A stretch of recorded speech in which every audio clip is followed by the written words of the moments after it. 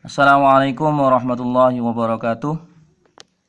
Bismillahirrahmanirrahim.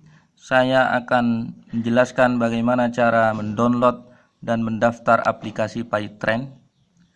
Yang pertama, tekan menu di HP Android Anda. Kemudian cari Play Store. Kemudian tekan Play Store. Setelah itu kemudian pilih aplikasi kemudian tulis di atas PyTrend PyTrend kemudian cari. Pilih yang paling atas PyTrend official aplikasi. Klik di pojok sini kemudian pasang. Kemudian tekan terima ini sedang memasang. Silakan ditunggu sampai pemasangan selesai.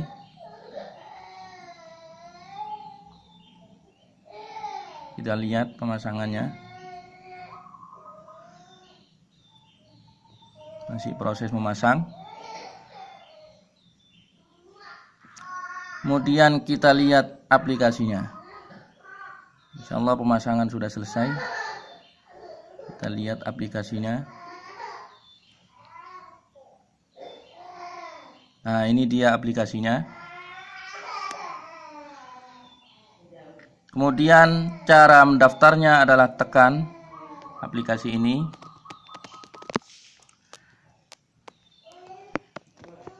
Baca lanjutkan. Lanjutkan lanjutkan. Kemudian tekan setuju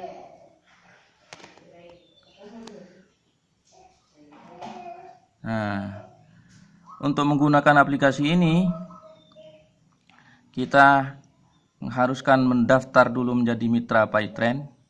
Nanti setelah mendaftar kita akan mendapatkan ID mitra dan passwordnya. Kemudian bagaimana cara mendaftarnya? Hubungi 087 877 977 909 atau PIN 59DB 9787. Cara mendaftarnya adalah dengan cara klik daftar, kemudian pilih yang paling atas pilih full lisensi atau fitur penuh. Kemudian tulis nama saudara, kemudian tempat lahir saudara sesuai dengan kotanya, ditulis di sini, dipilih seumpama Surabaya.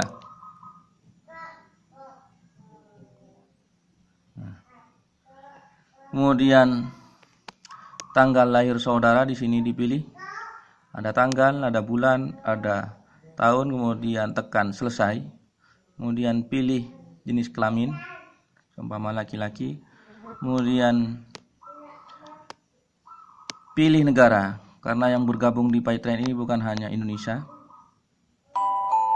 kemudian tempat tinggal saudara sesuai dengan kabupatennya.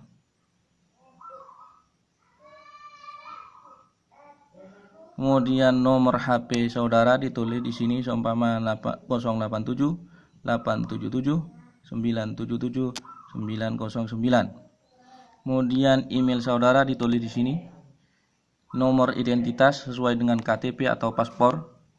Perlu diingat Pengisian data di atas jangan sampai keliru, harus sesuai dengan KTP atau paspor. Kemudian isi nomor serial pendaftaran.